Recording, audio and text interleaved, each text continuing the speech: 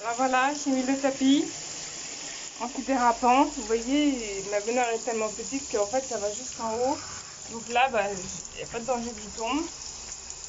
C'est vraiment solide. Là, c'est pareil jusqu'au bout. Jusqu'au bout, ça va bien. Moi, j'appuie fort sur les ventouses et je tombe pas. Ça bloque en fait. Donc c'est vraiment pratique. Il, est un peu plus long que ma baignoire. Mais au moins, ça me sert bien. Et franchement, il n'y a aucune chute. C'est vraiment bien.